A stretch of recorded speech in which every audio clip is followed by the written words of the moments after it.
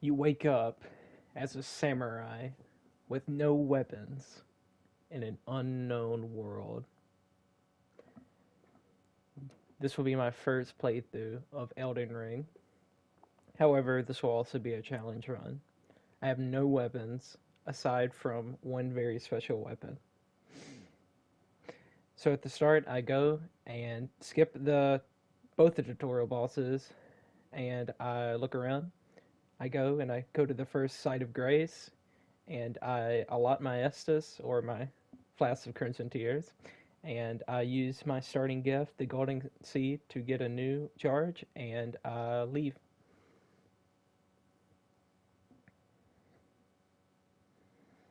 At the start, I'm still figuring out a little everything, so it's a little slow, but I go up the elevator and I start the first step.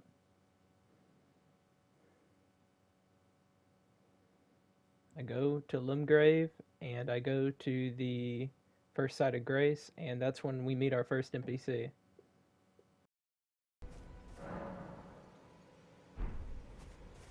Oh, yes. Tarnished, are we? Come to the lands between for the Elden Ring? Hmm? Of course you have. No shame in it. Unfortunately for you, however.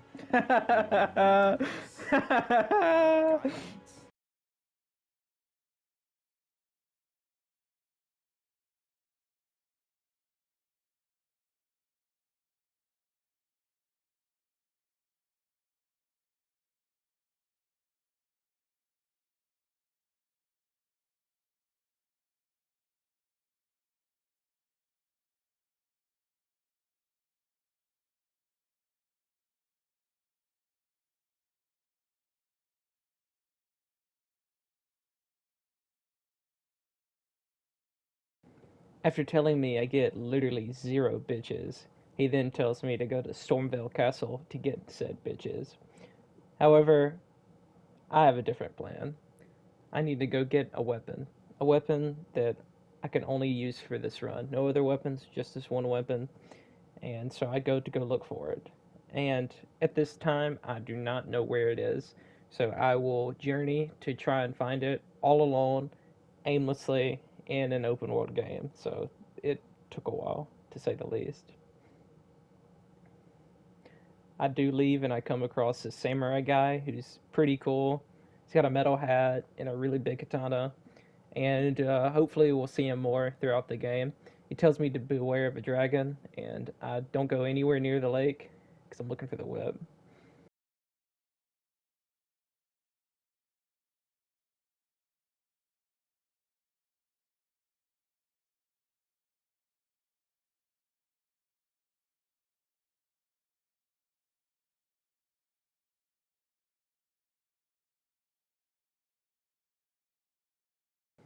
I go off this edge because I thought I could make it. That was my first death, and here's my second death. And then after that, I decided to actually look for the whip. I go past Tree Sentinel and I just run away because I can't fight him. I don't think I could even fight him with the whip, to be honest. And I follow the yellow brick road leading to the wonderful whip.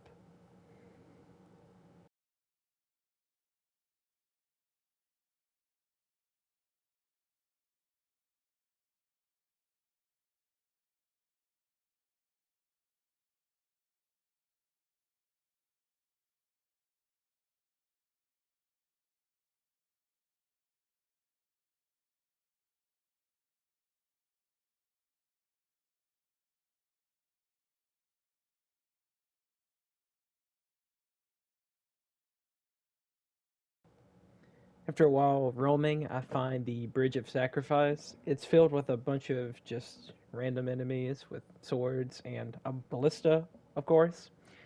And I just book it past them, keep going until I find a Shrine of Grace. I sit at it, and then I notice another NPC. Hello? Is somebody there? Might I bend your ear for a moment, please? My name is Irina. I've escaped from Castle Morne to the south.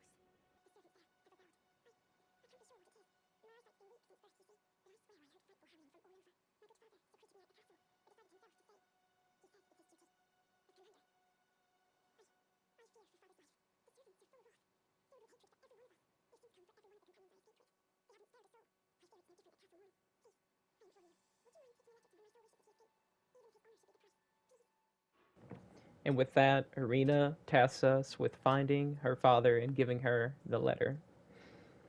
Now, her father is at Castle Morne, and that is exactly where we need to go to find our whip. On the way, we encounter a Dark Souls 3 reference by a archer shooting incredibly large arrows at us. And it seems that the archer is a giant golem giant creature, just like in Dark Souls 3, but clearly he's no Goth, so we make short work and just run past him.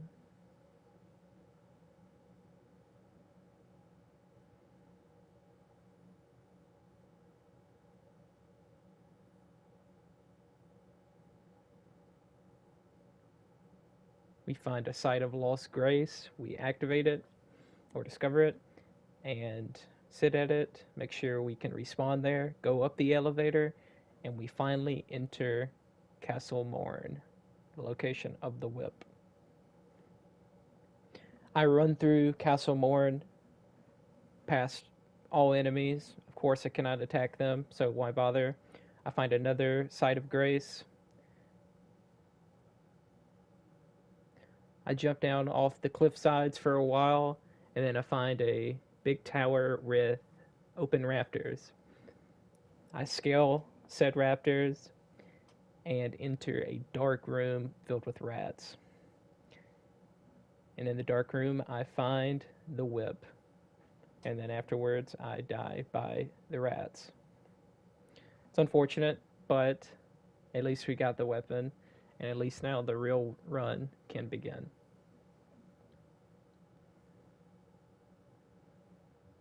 I equip the whip, try it out a little bit, and next I will test it on the rats.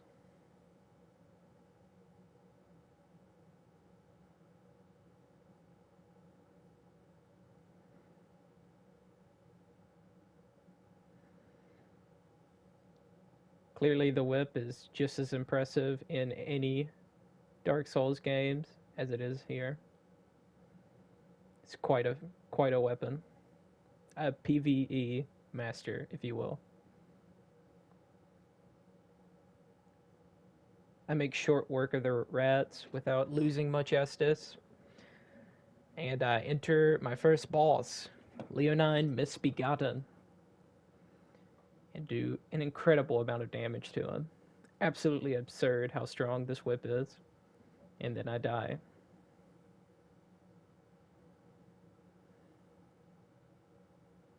However, I noticed with the whip that it has a stun mechanic, as you can see. And that'll come up later. Don't you worry. Eventually, I kill my first boss and get the Grafted Blade Greatsword, a weapon that I really wish I could use.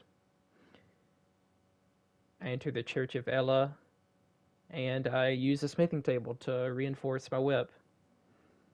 Then I meet Santa Claus or maybe the Grinch by that face. It's up to you. Next, I find a caravan of knights and I kill them.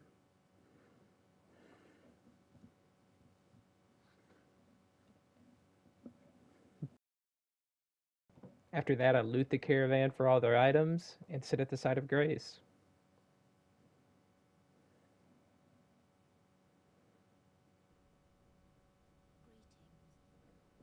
A maiden appears and we decide to form a bond. She gives us the steed whistle. Now we can ride horses and level up.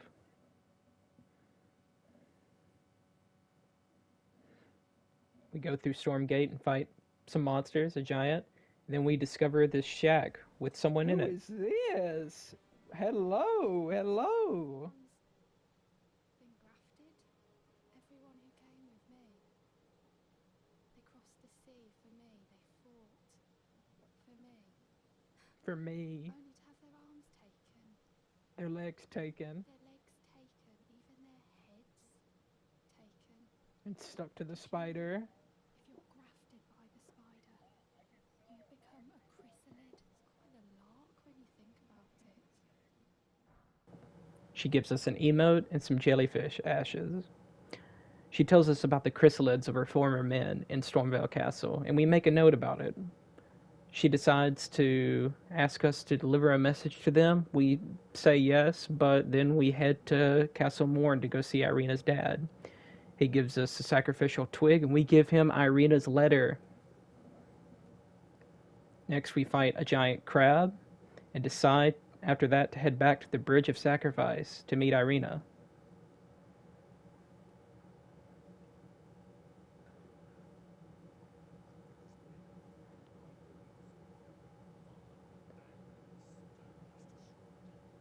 Yikes. After that, we decide to avenge Irina by killing the soldiers in the Bridge of Sacrifice. After that, we go exploring and find a dagger dog protecting the bridge. We make short work of him and decide to keep on exploring. We come across our first Erd tree and we fight its avatar. This is will be our second boss battle, and the whip makes short work of him yet again. After that, I take a tower and open up its chest. And it's a transporter trap taking us to who knows where. Oh, of course, it's Leyndell Royal Capital. We fight this and lose hard. We find a glowing tree, we activate it, and we follow this gold person into a cave. Inside said cave, we find this giant bear. Oh, of course, it's Rune Bear with his small head. He doesn't appreciate that and he kills us, so we kill him. After that, we head into Morne Tunnel. We get some smithing stones, and we decide to fight the boss of the area. He's he's something. The whip makes short work of him, and we get another weapon I wish I could use. However, this boss arena is very good screenshot material. After that, we head back to the Church of Elleh. A pleasure to meet thee, Tarnished. I am the witch Renna. We meet Renna, the witch, and she gives us a bell right before she decides to blip out of existence. After that, I upgrade my whip and decide to tackle the tree sentinel. The whip is just demolishing bosses, and we're proud for it. After that, I find a church where we discover a item called a sacred tear. Then we find another church with another item called sacred tear. After that, we enter the shadow realm where you fight a boss. The whip does its stun mechanic thing again, and again, we're proud for it. We love to see it.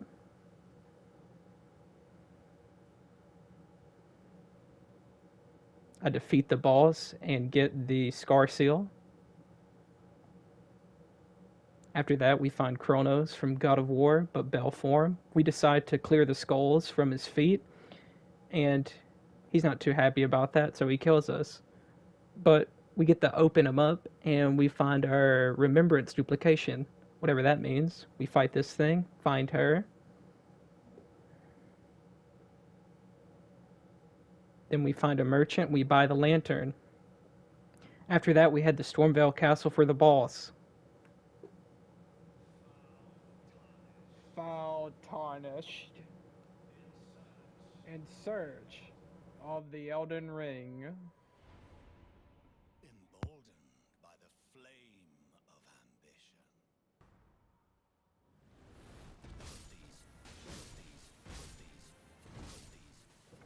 I'm gonna be honest, this boss kicked my ass. Absolute most frustrating boss so far. Probably one of the more harder bosses to fight with the whip, if you ask me, but we did eventually beat him, and it was quite epic to destroy the fell omen.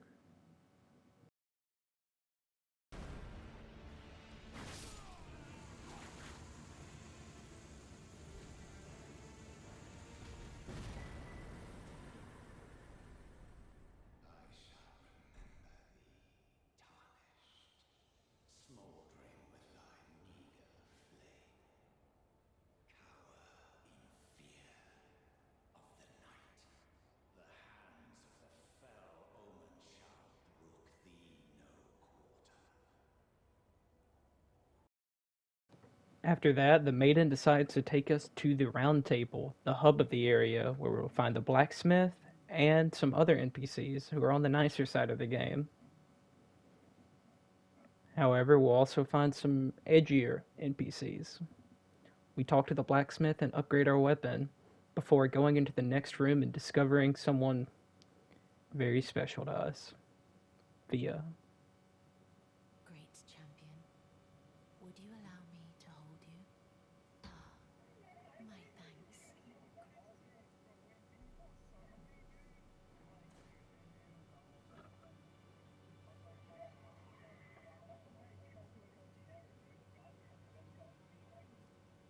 You are very warm. Think We let Fia hug us because we really need it in these trying times, and we agree to hug her again sometime. Then we perform a Dark Souls reference at the campfire for some screenshot material again. After that, we decide to clear Stormveil Castle. We come across a dark room. Oh, cutscene.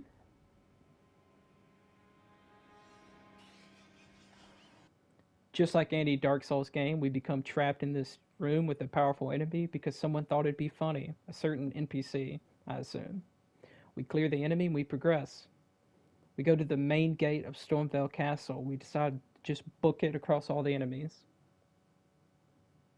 We come across a very powerful lion with a dagger, but he cannot follow us to this invisible wall.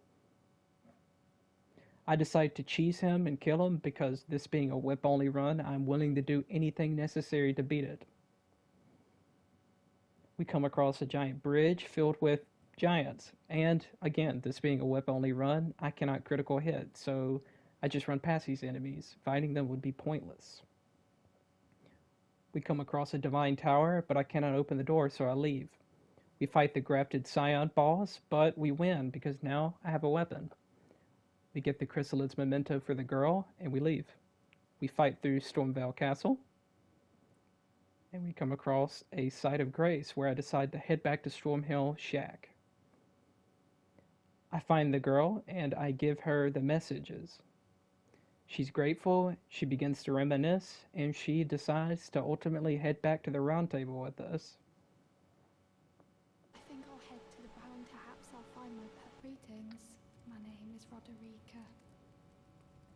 Should have told you sooner.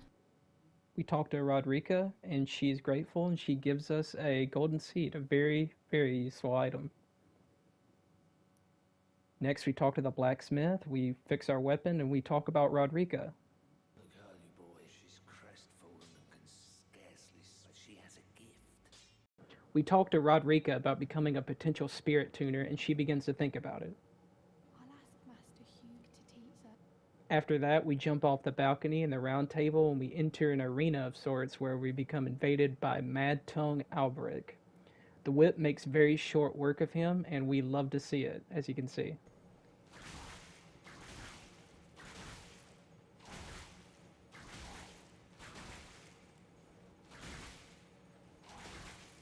I'm stun locking him. Um, I'm stun locking him. Um.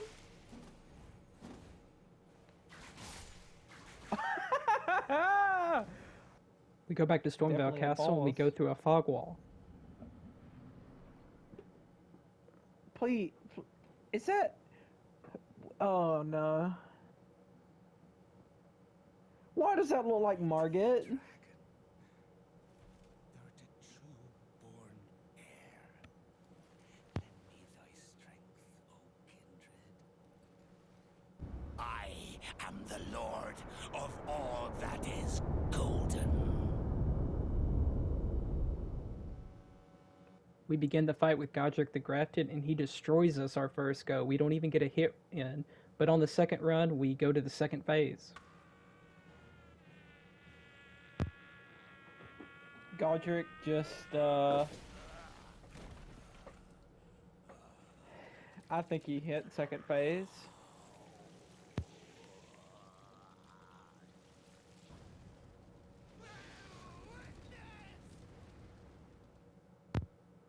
Bro, what is this? I die several times as I learn the layout of this boss, and he's a very good boss. Some some would say even the best in the game, and I would definitely attest to that. He is a very fun boss, and he is not too difficult with his whip run, surprisingly. No. Woo! Yes.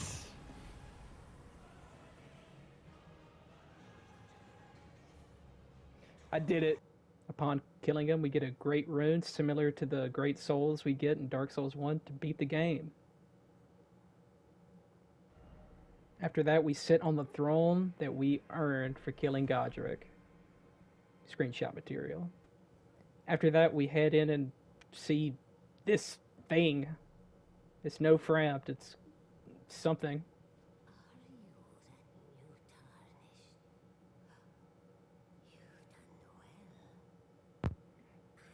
The finger reader.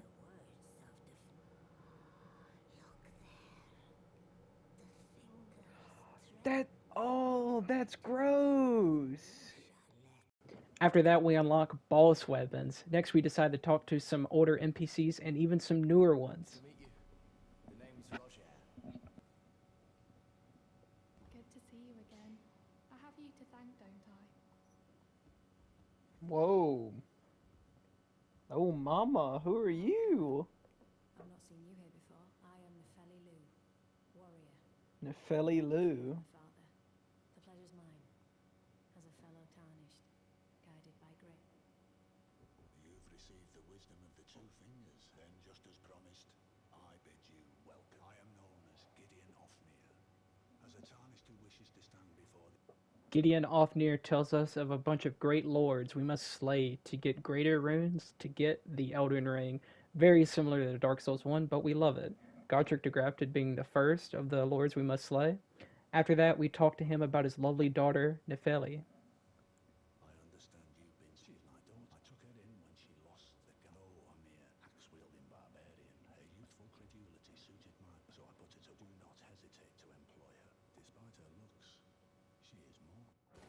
And after that, we begin exploring on our mighty steed. We come across a dark cave that we cannot enter for some unknown reason. There's a fog wall that blocks the cave. Usually, a fog wall means that there's an invasion. However, I'm in offline mode. Invaded by Bloody Finger Niger? N- Niger? Mary Jess? Who are you?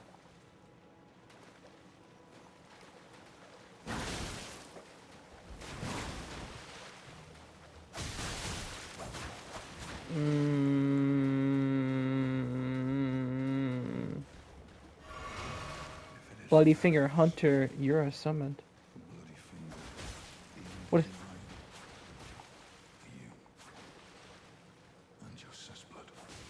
Who the hell is this?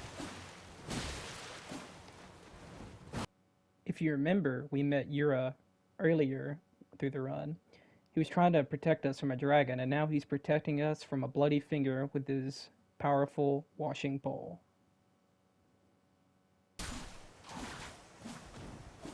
Thanks, bro. After that, we find Yura up ahead sitting in a cave. Hello, sir.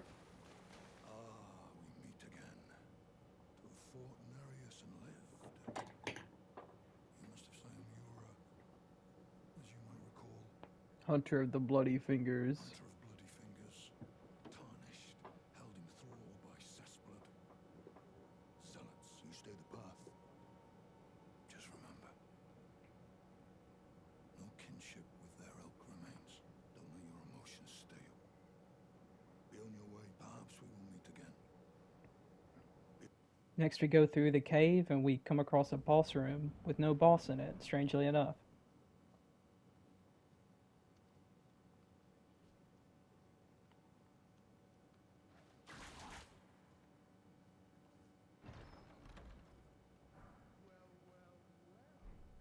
Oh my gosh. Oh my gosh. Son of a bitch.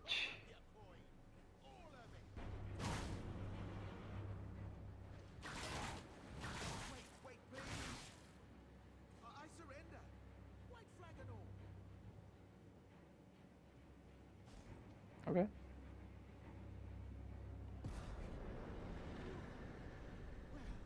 Finally come round, have you?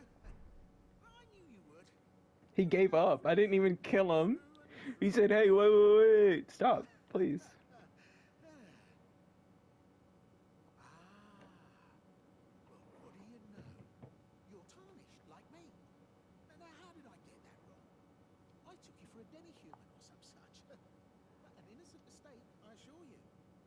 Water under the bridge. Now we're squared up. How about we play nice from now on? Dude, forgive and forget. I love you, Patches. Just what? I'm Patches. Patches the untethered. And after that, we come across a Bloodborne reminiscent dungeon. We pull a lever that opens up a door somewhere, just like in a Bloodborne dungeon. Somewhere a heavy door has opened. Grave Warden Duelist. Oh my gosh. This dude's huge. We encounter and fight the boss of said dungeon, and we make short work of him with the whip. Easy. Not even hard, not even hard, not even hard. After that, we come across another Dark Souls reference in the form of a painting. And finally, after that, we head back to the Round Table Hold to talk to the blacksmith. And we also hug mommy goodnight because it's 2 in the morning. Well, that's the end of the first video. I hope you enjoyed it. It was quite a struggle of my first day playing Elden Ring using only the whip. This was the first playthrough I've ever done, and it is very time consuming, and I hope you enjoy it, and I hope you're excited for the second video that will be coming soon. Thank you for watching.